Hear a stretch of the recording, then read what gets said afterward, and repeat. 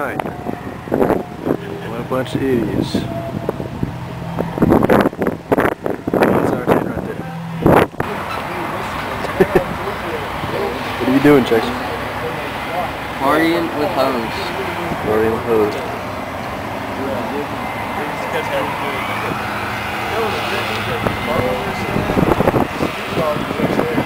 Like he's going to talk to talk to people and all the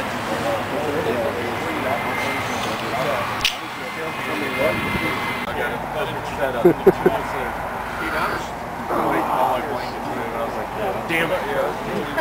Like, like gloves, I had to take off like gloves and fix it. Where's my blanket? Look, two PS3s.